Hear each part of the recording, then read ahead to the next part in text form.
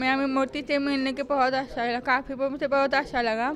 मैं पहली बार मिला था तो मुझे पहले से अच्छा लग रहा है।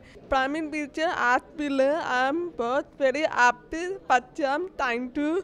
Modi ji से मिलके मुझे बहुत खुशी हुई बहुत खुशी हुई इसके लिए बहुत बहुत धन्यवाद।